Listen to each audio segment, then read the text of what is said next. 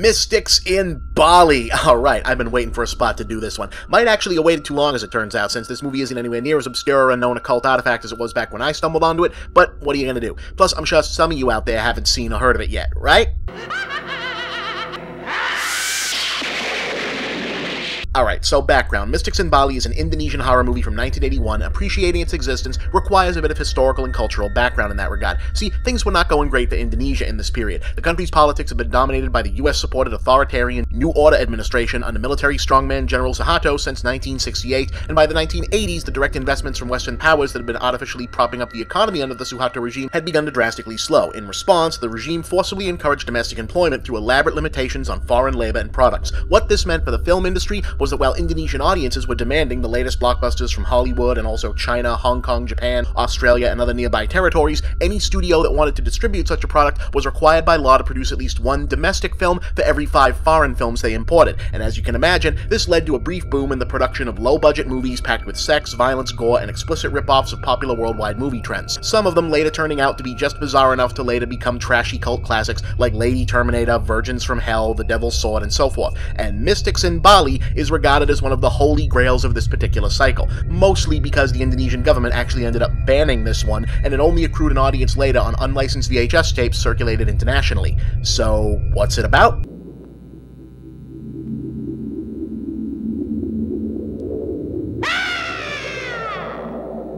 Well, short version, it's a witchcraft movie. Our main character is Kathy, an American, or in some translation Australian student, who's vacationing on the island province of Bali to do some studying and hook up with this local Hall & Oates looking dude named Mahendra. So, what's she studying? I'm surprised that a pretty girl like you would be interested in learning black magic. Well, I'm just curious. I'm thinking that maybe one day I can write a book about it and tell it to the world. Ugh, we've all met this chick, right? College dilettante immersing herself in the appropriation of other people's sacred cultures because, hey, why the hell not? And maybe she'll write a book about it someday.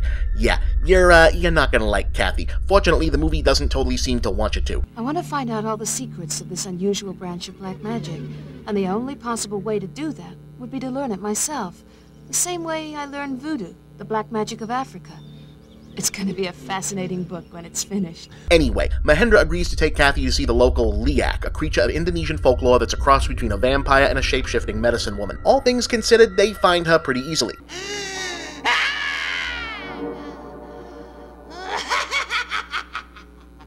Who's there? The master certainly knows that we are here now, Kathy. Let's go over. And she agrees to train Kathy in Balinese black magic provided they bring her a blood sacrifice the following night.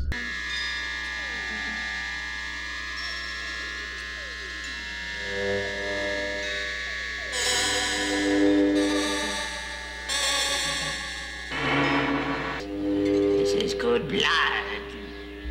Now, I need you to take off your skirt. What are you gonna do? Don't you argue with me. She must take off her skirt.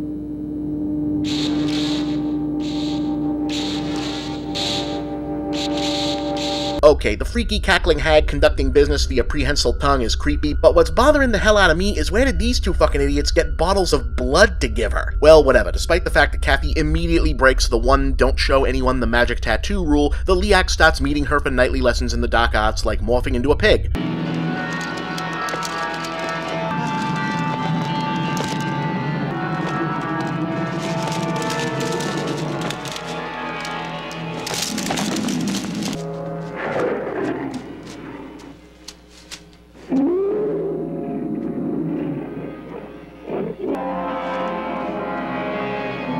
And other stuff.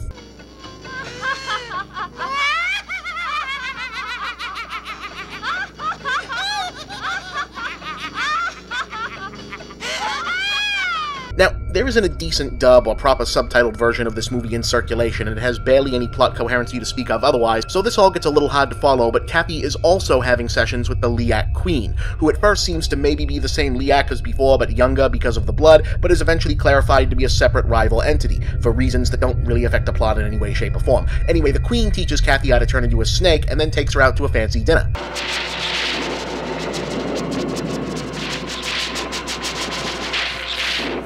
Went to this strange place where I saw plenty of delicious looking delicacies, and I ate a lot of the things that were on the table.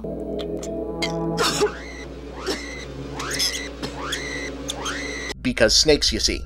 At one point, all three women turn into floating fireballs for a fight wherein the old Leyak and Kathy defeat the queen and claim the throne, whatever that does. Cool looking sequence, too bad they never tell us which fireball is which or what the fuck was even going on until the scene is over.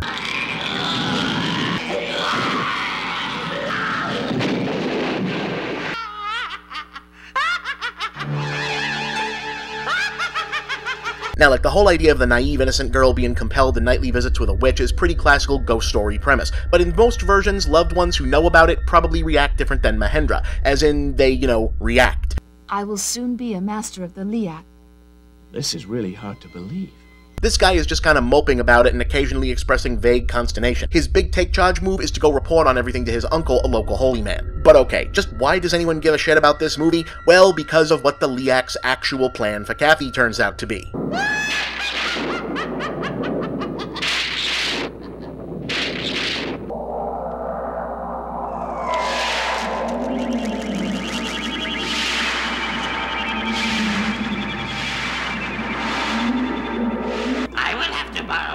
Head for a short time.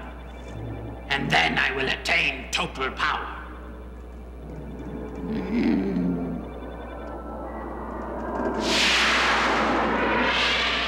Bet you didn't see that shit coming. Okay, the floating lady head with organs still attached monster is another staple of Indonesian folklore, the Penanggalan. And according to mystics in Bali, this is what a Penanggalan does.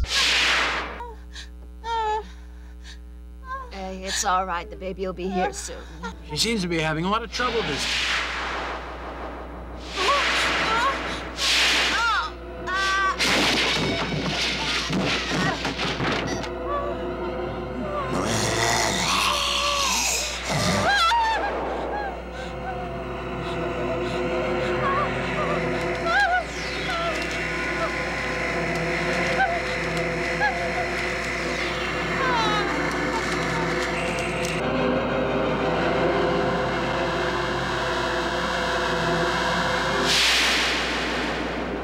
Well, that certainly took a turn, so obviously this can't go unanswered, so Mahendra, his uncle, and some locals opt to bust out the good magic to try and neutralize Kathy and destroy the Leyak. And also, this lady shows up.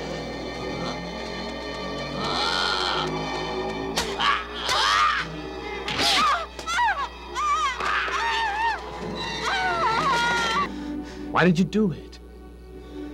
It's because I still love you, Hendra. Although you left me for another woman, Hendra. Wait, wait, Mahendra left a good local girl for the interloping foreigner whose cavalier disrespect for their sacred culture has transformed her into a literal baby-eating bloodsucker? Wow, that's a lot of subtext. Or rather, it would have been a lot of subtext if we weren't hearing about it for the first time after the fact. Anyway, a wizard we've never met before shows up to defeat the Leyak in a magician's duel and save the day.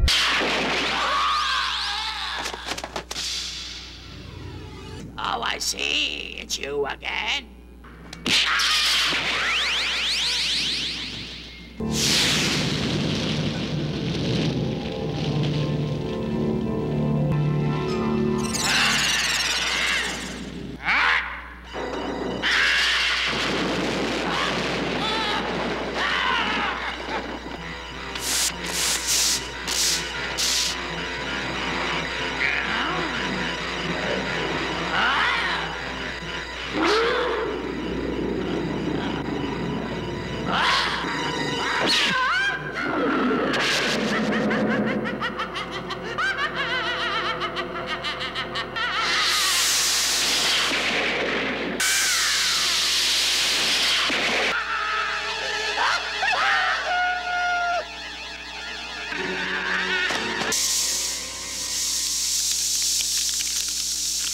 Mystics in Bali is inept and weird and vacillates wildly between stiflingly dull, completely insane, and fitfully almost intriguing. You can feel the enthusiasm of the filmmakers working to realize their culture's local folklore and mythology on film, and the authentic locales lend it a sense of, well, authenticity that only makes the cheap jack special effects seem even weirder, especially considering they actually had to shoot most of this in Java, because some Balinese natives were genuinely concerned that restaging certain rituals and practices would anger actual evil spirits. Alright, two down, three to go. Next week, monsters. Lots of them.